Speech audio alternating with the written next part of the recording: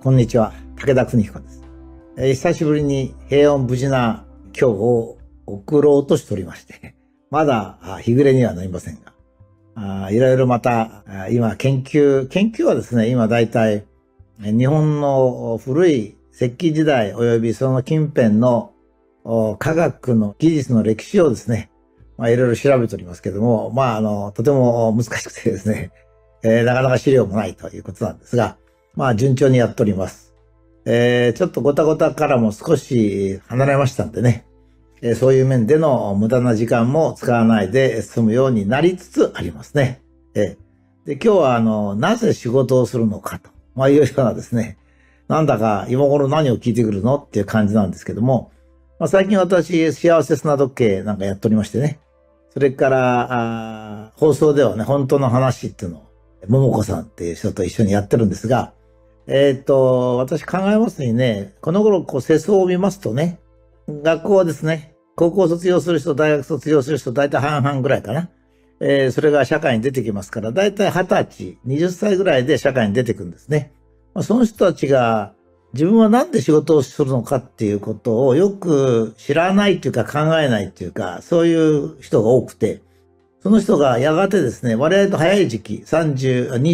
26とかね、30ぐらいで、なんか疑問に感じたり、やり直したりしておられるの多いもんですから、え、ちょっとここでですね、我々はなぜ、え、仕事をするのかということを考えてみたいと思います。もともと仕事をするっていうのはもう非常に単純でですね、私が今勉強している、研究しているその石器時代なんか見ればわかるんですけども、ま、生きていくためです。簡単に言えば。え石を研ぎ、え、武器を作り、ナウマンゾウを狩りに行く。えー、方や、まあ、あの頃はまだ稲とかありませんからね。女性の方は一生懸命そ料理をしたり、子供を育てたりということで、いずれにしても我々が生きていくということが、まあ仕事なわけですね。つまり仕事っていうのは我々が生きていくためのものをですね、分担してやるってことなんですね。まあ、今で言えば、まああの、農業をやると、漁業をやると、林業をやるって、まあ一次産業ですね。それから二次産業としては自動車を作る。電化製品を作るとね。まあ、そうです。それから、サービスも必要ですから、えー、新幹線を運転するとか、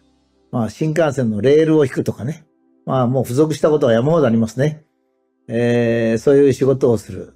これは、まあ、だから私なんか、まあ、学校の先生をするとかですね。まあ、政治家の方も必要ですし、まあ、裁判官も必要だと。まあそういうふうにみんなが生きていく上で必要な仕事を分担してやるんですね。だから必ず全員が仕事しなきゃいけないんですよ。全員が仕事しなきゃいけないです。えっ、ー、と、今、男性と女性と分けて話しますけども、これは男女を分けるっていうんじゃなくて、男女は機能が違いますんでね。まあ、それぞれが違うことが根本になってるっていうだけで、それがお互いに混ざり合っちゃいけないとかそういう話とは違います。それもまあ、男女平等のとこでね、もう一回お話ししますけども、ちょっと話しやすいんで、まあ、男性の仕事っていうか、男性的な人でもいいんですよね。えー、まあ、あの、そういう農業とか林業とか漁業とか、それからまあ、自動車を作ったり、なんか作ったりすると。えー、それからサービスも学校の先生やったり、裁判官やったり、まあ、いろいろすると。ま、そういうことを全体として世の中が、あまあ、やっていけるわけですね。人生を送っていけるわけです。で、これはもう全員がやんなきゃいけないんですね。つまり、なぜ僕らが仕事をするかっていう基本はですね、生きていくからっていうことです。生きていくにはご飯食べなきゃいけないんですよね。だから稲を植える農家も必要なんですね。魚も食べたいわけですよ。それから自動車にも乗りたいわけですね。まあそういうことで学校で勉強もしてですね、えー、知識をつけた人生を送りたい。小説も読みたいと。まあこういうふうになるわけですね。で、一番いいのはやっぱり、えっ、ー、と、合致するのが一番いいんですね。自分のやりたいこと、仕事として好きなこととですね、それから、えー、世の中が必要とすることが一致してる。大体一致してるんですよ。なんてかったらもう世の中って仕事がもう5万とありますからね。だから自分に合った仕事っていうのを大体は探せるんですね。それは本当にあの種類で探した方がいいんですね。あの僕はまあ学生なんかにもよく言うんですけど、他のこと考えない方がいいよと。なんか、給料が高いかどうかとかね。そういうんじゃなくて、自分がご飯も作れる、魚も取れる、林に入って木も切ってくれる、家も建てられる、ね。自動車も作れるっていうならいいけど、そうじゃないんですよ。ですから、やっぱり分業をせざるを得ないんですね。ですから、まあ、私なんかも、えー、物理を出ましたんでね。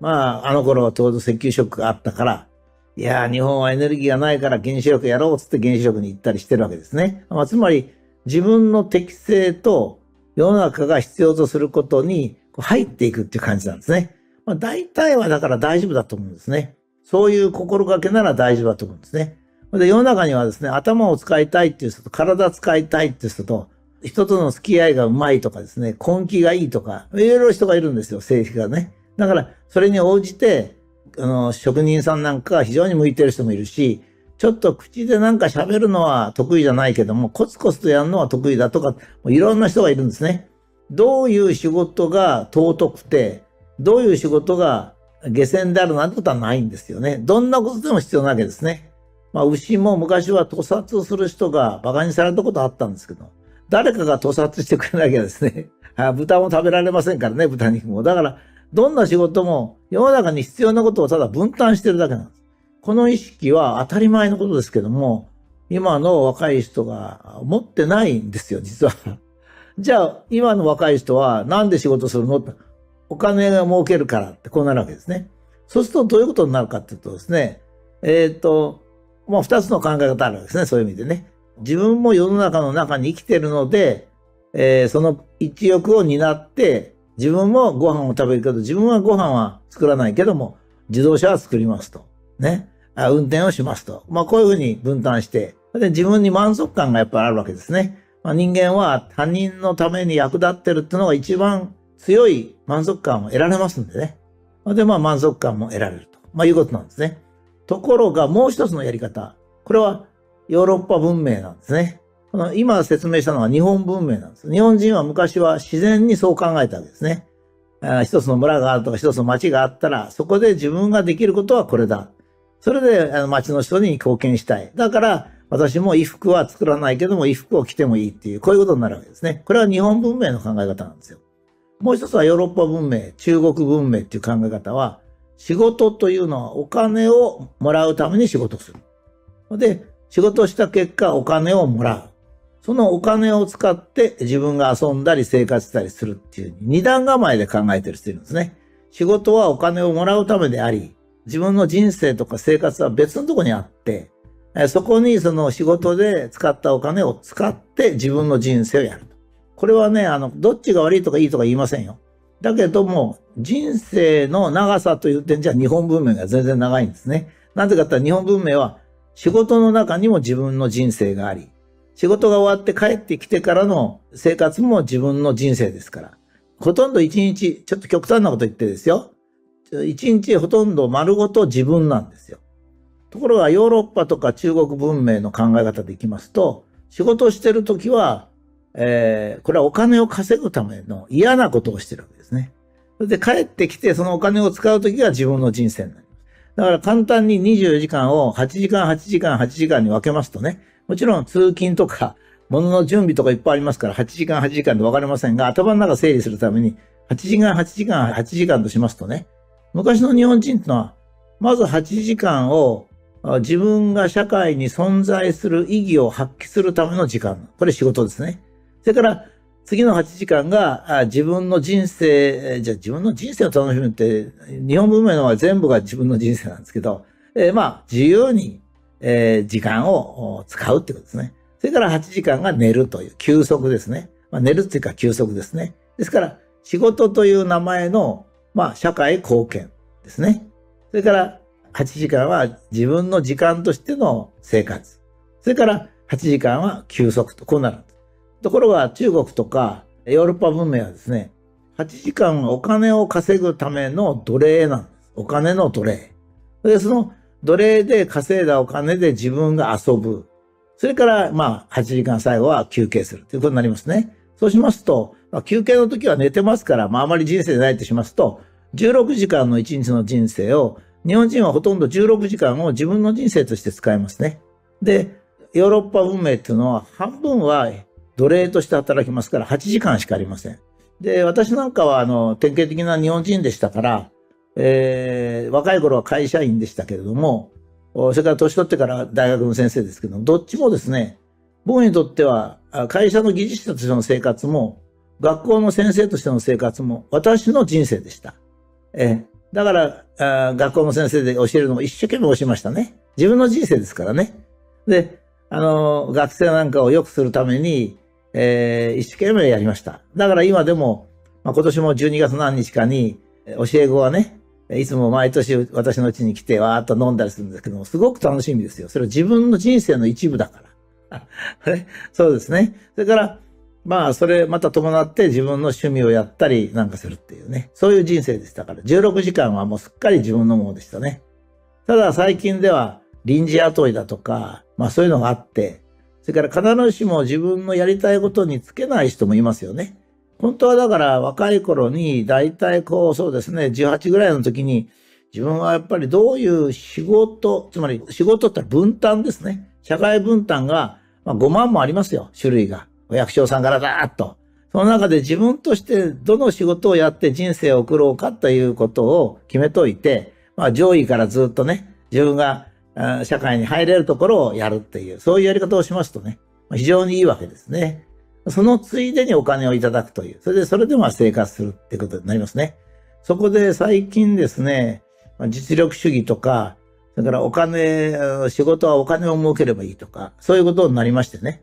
えー、若い人が、あの、何でしょう、お金で物を選ぶ。例えば給料が高い方がいいとかね。そういうことで選ぶので、とてもあの、仕事が嫌になっちゃうんですね。仕事が辛いんですよ。仕事が辛くなるとどういうことになるかって言ったら、早く仕事から逃れたいとこになりますね。ですからまあ、今も最近の若い人は8時間の拘束っていうかね、仕事がすごく嫌がるってそれはなぜかって、なぜ仕事が嫌がるかって言ったら、仕事の概念がお金になっちゃった。これはヨーロッパ文明ですね。日本の違うんですよ仕事はね。日本の仕事は社会でみんなが過ごす。自分がご飯を食べるためには誰かがご飯作ってくれないといけない。だから私も社会でこれをやって、みんながそれで助かる仕事をしよう。それで満足だと。給料は別に生活できる程度くれればいいっていう、そういう全体的なね、考え方だったんですね。で今はもうだから、時短、つまりその仕事の時間を短くすることが大切なことだと政府も言っておりまして、そういう政策を取ったりしてますね。ますますこの頃、それが激しくなりまして、例えばお医者さんみたいなもう時間に関係なくてやんなきゃならない仕事ってあるんですよね。だって、目の前で患者さんがうんうんなってんのに、私今5時になりましたから帰りますなんてわけいかないでしょ。そういう仕事に対しても政府が関与して、それでもう帰れというような制度にしようとしてますね。これは一見して国民を幸福にするように見えて、国民を不幸にするわけですね。今まで16時間が自分の人生だったものが、8時間しか自分の人生がなくて、あとの8時間は奴隷になるっていう奴隷化生活策ですね。で、これはあの、国全体にどういうことを及ぼすかって言いますと、えっ、ー、と、日本のようなところはですね、仕事自体がその人の本人の人生でもありますから、みんなが満足して仕事をするんですよ。それはまあ例外がありますけどね。そううまくいかないけど、大体は。だから力が発揮されるんです。これがあの日本がですね、えー、世界で唯一有色人種であって、かつ、えー、植民地にならなかった。すべてやっぱり日本人はちょっと特殊だなってみんな思ったのはそれなんですね。ところがヨーロッパ流ってのはいいように思いますけど、三角形ですね。それで上の方の人がいいと。年俸10億円取ると。いいなぁなんつっても知ってる人がいますけども、それはあの、こういう箱型の日本型のね、誰でも平等だっていうのとから比べると、それは良くないんですよ。わずかな人が満足して、大部分はいやいや仕事をするってことになりますね。そうしますと、まあ、例えば大きな会社の部長以上ぐらいだったら満足してるとするとね、大体10分の1の人が満足してる。あと10分の9は不満ながら仕事をするというわけですから、それは仕事の成果は全体的にどっちが高いかと、もちろん言うまでもなく 言うまでもなく日本型の方が仕事の量っていうか仕事の質量ね。それは大きいわけですよ。全員が満足して一生懸命働いてるのと、それから10分の9の人はいやいや働いて、10分の1の人だけ満足してるのは全然違うわけですね。ですから、私は国のやり方としては、10人が10人ある程度満足して仕事をするという日本文明の方が優れている。だから別に職場から早く帰らなきゃいけないとかね。そういうこともないと。それは大きな間違いだ。給料もですね、実力主義じゃなくて、年功序列で行くべきだと。これはまたちょっと他の理由も説明しなきゃいけませんが、まあそういうことになるわけですね。ですから、我々が仕事をするのが一番大切なのは分担意識なんですよね。俺はもう電車運転して米を作るって無理だから。だからまあ、米は米で相手にどっか誰かに作ってもらおう。その代わり俺はこれをやろうっていうのが、まあいいわけですね。男女の問題もそうで、今の男女の問題っていうのが、なんか変に過度なことを言ったりえ、LGBT もそうですね。これが議論が曲がっちゃってるのは、本来仕事というのはどういうものか。社会っていうのがどういうのが、社会の人みんなが幸福になる形なのかということを子供に教えてないですね。だから二十歳で就職するときにね、間違って就職します。私はまあ学生にはこうだよっつって説明しますんでね。あらかたは満足して働いてるようですけどね。だけど世の中がこういうふうになってきましたので、えー、まあいけないですね。それからもちろんだからつまり仕事っていうのは自分が自分のものとして仕事をして自分の人生にそれが生きるという一番いい形。それからお金をもらうために仕事をするという奴隷的働きの仕事。それから3番目が人を騙して金を取るっていうのは、まあ10人に1人はいないかな。30人に1人ぐらいいるんですね。それはもう下船な人ですね。一番下船な人。だから、そういうことで自分の人生をどう生きるかということを、まあ、これをお聞きの方で、お年を召した方もおられますからね。その人は若い人を指導してあげてほしいと。で、ちょうど18ぐらいになった時にね、あなたの人生は何をするのかと分担して自分が生きていくにはあなたはご飯も食べるでしょうと、魚も食べるでしょうと。だけど、海に出るわけいかないでしょうと。だから、あなたは何をしたらいいか。この広い世の中の仕事のうち、それを分担してですね、一生懸命やれるような、人生が充実できるような、そういう仕事を選んだらいいよと。決してお金とかそういうものが先に来るんじゃなくて、分担意識を最初に持って、まあ一生懸命やると。まあそういうね、ことがいいというふうに思いますね。これは日本文明というのは、ヨーロッパ文明や中国文明よりかはるかに優れてる理由で、おそらくは私はね、これから1000年後ぐらいには、世界は大体日本文明に近づいていくと思います。